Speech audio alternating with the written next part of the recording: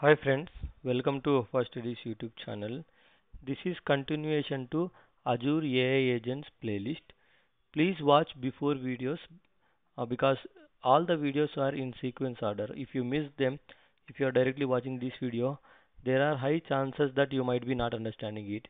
If you are already comfortable with AI agent concepts, then you can directly watch this video too. So let's discuss about implementing multi-agent solution using connected agents feature which is available in AI Foundry. So before this video, that means the past video, we have discussed about implementing the multi-agent solution using something called agent group chat inside the semantic kernel. But this time there is a feature called connected agents. So with that feature which is available in AI Foundry, we are going to implement the multi-agent solution. Okay. So let's understand this. Uh, first, for few minutes, I will be going through the theory part. Then I will be showing you by practically running the code too. So firstly, uh, using these connected agents, what will happen? Uh, you can uh, basically you will delegate the work to the sub agents. So the architecture of the connected connected agents goes something this way. If I go to whiteboard, so let's assume you have an example where whenever any ticket comes whenever any ticket comes uh, you need to set the priority of the ticket uh, maybe severity 1 severity 2 something like that. And also you you need to assign the ticket to the respective team like which team has to work on a ticket. And also you need to uh, estimate the efforts needed for the ticket to resolve. So assume these are all the three different tasks you want to perform whenever any uh, ticket comes into your system. So you wanted to make sure to keep this via agent. You don't want to keep a manual uh, process of a physical team sitting there and doing all these three all these three jobs. So how to accomplish this with a multi-agent solution? So in multi-agent solution, what you have to do it is, uh, especially in this connected agent future, you need to create a three uh, uh, agents. For example, to calculate a priority, there is a agent one. To assign the ticket to the some team, agent two. Then to calculate the efforts, agent three. So let's assume you have these three agents. Now these three agents has to work together to accomplish the whole task. Whenever a ticket comes, all these three agents has to work on their respective task and finish the job. So to, to accomplish this, we need multi-agent solution, right? This, this you know from my previous video too. But how to accomplish this multi-agent solution in this scenario? Using connected agents, let's explore it. In connected, uh, for a quick recap, if you want to accomplish the multi-agent solution using a semantic kernel, then what you do, as I discussed in my previous video, you will create something called agent group chat and in that agent group chat you will add all these three agents. And also you will define the strategy of selection how the agents should get select. And also a termination strategy when to terminate.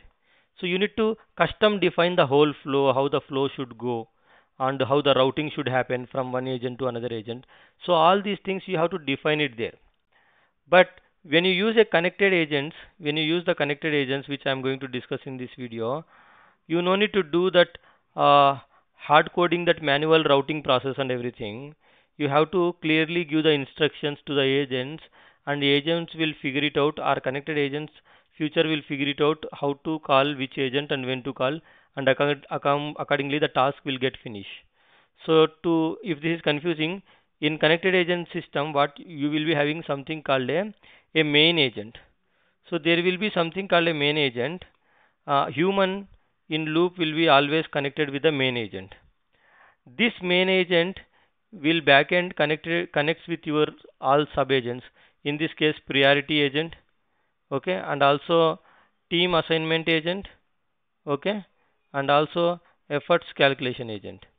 So you will be having something called a main agent that will take the task, it will take the task and it will understand the task and it will give the subtask to each agent accordingly what they have to perform. Okay. So in in the case of this ticketing mechanism we can call this main agent as a triage agent. So I will be creating a triage agent on top of this uh, specific task related agents like priority agent team assignment agent efforts agent. And then this uh, this triage agent will take care of uh, understanding the user input and routing the request according to the agents and make sure the task gets completed. So if I go back to my OneNote uh, I have explained all these things in a textual format here. Uh, so connected agents are a feature in AI Foundry service which allow to break the large task into the smaller task and the smaller task means the sub agents okay? And as I said in the multi-agent solution with the connected agents you you will be having something called a main agent uh, and then you will be having something called connected agents. So that main agent will take the task and route the task to the sub agents and how this whole thing will happen in a in a programmatic way right? The flow will be so firstly uh, all these things are in a Azure AI Foundry. So I hope you know that from my previous video of AI Foundry agent. So firstly for the AI Foundry project what you have you need to create a client object.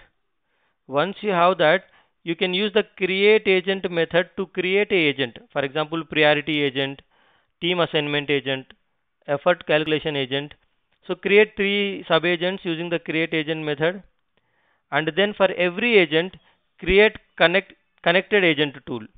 So connected agent tool means maybe the sub agent for example priority agent what it does exactly that's all will be defined in a uh, connected agent tool. So three agents, three sub agents and three tools for them. Then again use the create agent method to create the main agent or the triage agent. And then use the tools property on it and add all the three tools whatever you created before for the sub agents so that's it. With that your uh, multi agent solution creation done then you can create a message thread. You can create a thread to start the conversation and you can run that thread uh, you can see how the response is coming back and finally you can handle the results back okay so this is how the whole thing will work so let's understand this practically now. I have already written code for it. I will share you the code in the video description. Also, what I will be doing it is, I will give you one link also where a similar example discussed in the Azure documentation too. You can follow that exercise link also which I will be providing in a video description. So right now, if you are seeing my Visual Studio code, so here I have a couple of files. So let me explain it from here. So if you see here uh, this is my folder uh, or my project folder assume that way. So uh, there is something called .env file uh, where I will provide the environment configurations. This you know it from my previous video. So my AI Foundry project endpoint and also my AI Foundry model name like which LLM I am going to use. So that information will be in the .env file.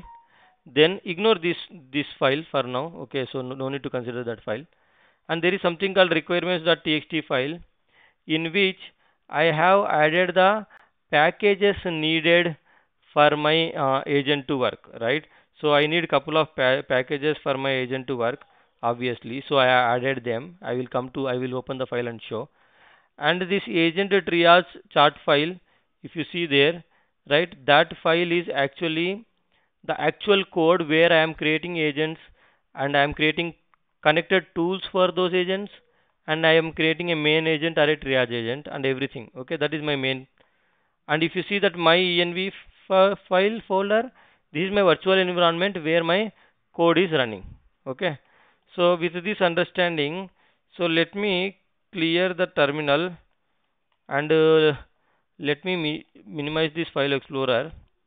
And if if I see this uh, requirements.txt file basically I need this python-dotenv because I want to take the files from the .env file. And also I need uh, Azure AI projects because the agents what I create they will host in the Azure AI Foundry. So I need a object to play with the AI Foundry project. And I need Azure identity because I I have to authenticate myself first and then uh, do that uh, uh, project client object creation and, and everything okay so if I go back to my uh, main file where I have written a code. Uh, firstly, let me go to the .env file.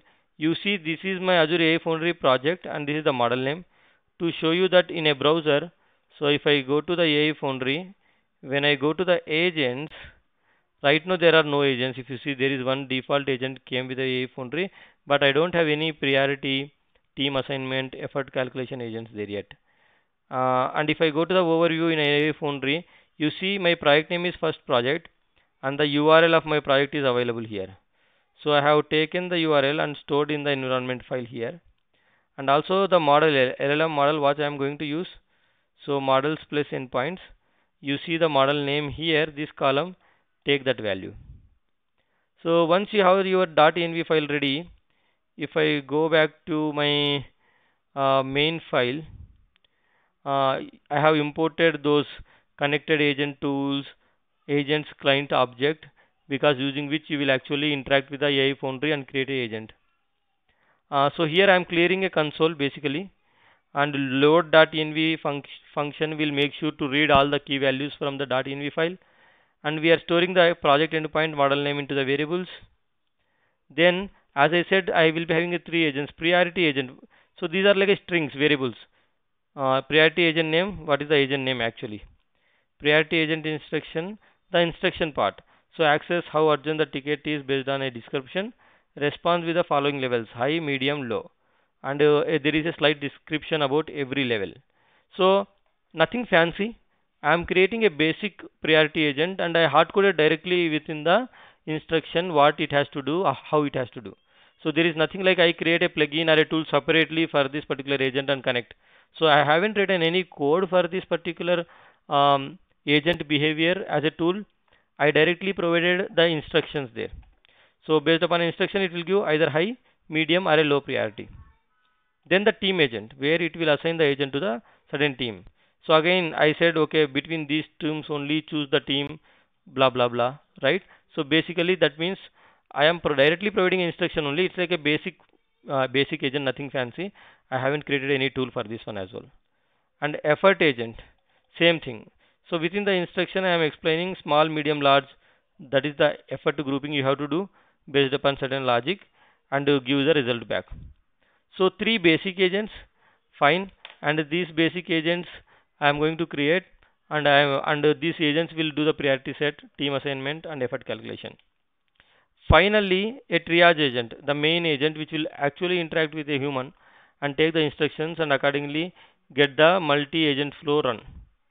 So I am giving that is that like triage agent instructions and I clearly mention the instruction that triage the given ticket use the connected tools to determine the ticket's priority which team should assign to and how much effort is in time.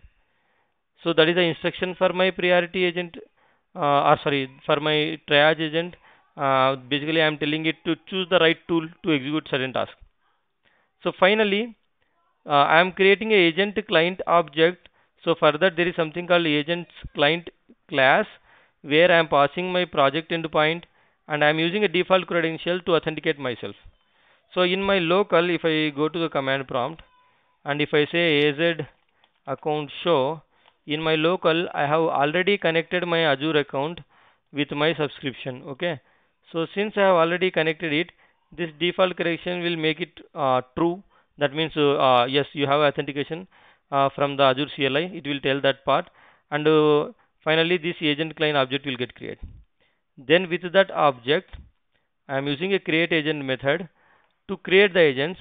So firstly I am creating a priority agent. So model name I give, agent name uh, and also instructions instructions of the agent which I have hard coded in the variables above. So once I create this priority agent I am creating something called a connected agent tool for that where I mention it using connected agent tool class uh, there is something called a name property mention the property of the name uh, sorry. Na name name priority uh, uh, sorry. So there is something called a name where I have to define the priority uh, basically the agent name. Okay so in this case priority agent. So I'm I'm giving the agent name here uh, and then I'm telling okay this agent is to set the priority. So that's it. This is the connected tool. So create a agent, then create a connected tool. Again create a team assignment agent, create a connected tool. Again create the effort agent, create the connected tool. Finally, once you have all these three sub agents ready along with their tools, uh, you will create a main agent using the same create agent method. You will name it like a triage agent, deployment, instructions, and in the tools, I have added that all the sub agents as a tools to the main agent so that main agent will understand the ask and route the request according to the sub agents. So finally, uh, I'm just creating a thread on the agents client object uh, because thread holds all the conversation in a stateful manner. If user enters quit or exit, it will see it will close it. So here in the loop, what I am doing, I am using a input function to take the input from the user, okay, and that will come here. Uh, if the input is quit, exit or a buy, then I am closing the session in the terminal. Otherwise, process will continue, and I am creating a message object uh, based upon a prompt what I enter, and that message object if you see here uh, I am running that message object here. Uh, sorry. So this message object got added into the thread. So via the thread I am running it. So using that run agent client dot run. So that means it will start the conversation. And based upon a run status if it is failure fine. Otherwise uh, get the last message what happened uh, from the agent and reply that. And, and when you are replying it print like this. Agent greater than then agent's response so finally cleaning up all the agents what we create there. So this is the code. Now I am opening a new terminal here. I will try to run this. So what I will be doing it here is, so let me activate my uh, uh, virtual environment here. So if you have seen my previous videos, you know what is that virtual environment, how to activate it. Okay, so please watch them. And here what I am going to do it is I am going to use python space agent triage chart dot py file. So let me run this. So this will create three agents in my foundry and it will create a connected tools. And finally these three agents connected tools will be connected with a main agent. So all that things happened already to make that sense here. Go to your AI foundry go to agents menu. And uh, if I, you see all the triage agent effort agent team agent priority agent everything came there. Now I will enter some question here. So I will say uh, some ticket right? User is so let me remove this and type one ticket information and let's see. User user is not able to reset their password in mobile app. So that is the question I have entered uh, from the user prompt. Now the triage agent will come into picture and take that and interpret it and accordingly execute the subsequent task. So let's wait for the execution to complete here. You see here uh, the triage agent responded back and uh, you see initial firstly the priority agent get called and it set the priority high. Then assignment team I think that that's happened. That means uh, team assignment agent got called and it assigned the ticket to the front end.